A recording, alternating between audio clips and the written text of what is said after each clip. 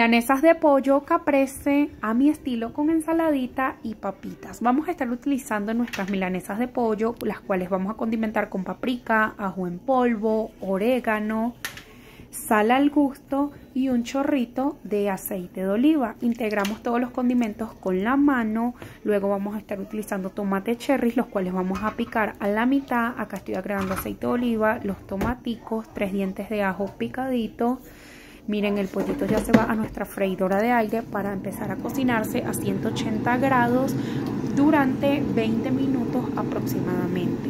Una vez el pollito ya esté casi listo, le vamos a agregar el tomatico cherry con el ajito y estas hojitas de albahaca que le coloqué. Por acá ya tengo unas papitas, las cuales, las cuales corté y vamos a condimentar con paprika, ajo en polvo, orégano, sal y un chorrito de aceite de oliva como para que no queden tan secas. A mí me gustan así.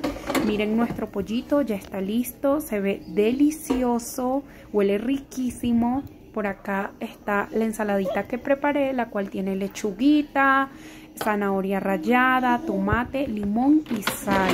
Miren nuestras papitas, por acá ya tengo el pollito, le puse una lonchita de queso mozzarella. Miren qué bonito se ve nuestro plato, súper colorido. Esta receta es fácil, rápida y deliciosa. Mm, no se arrepentirán de prepararla. Bye.